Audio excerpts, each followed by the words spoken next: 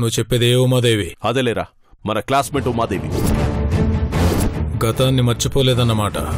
తను ఇంతకు ముందు కన్నా ఇంకా స్ట్రాంగ్ అయింది. ఇనుము ఎంత గట్టిదైనా కొలిమిలో పడితే కరగాల్సిందే. తను ఇనుమైతే నేను కొలిమి.